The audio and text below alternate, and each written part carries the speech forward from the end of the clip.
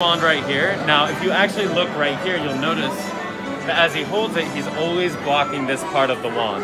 This is his moon right here, he hides that. But as he transforms into a werewolf, he actually gets stronger and grips into his own wand, and you can see the bending of the wand throughout it.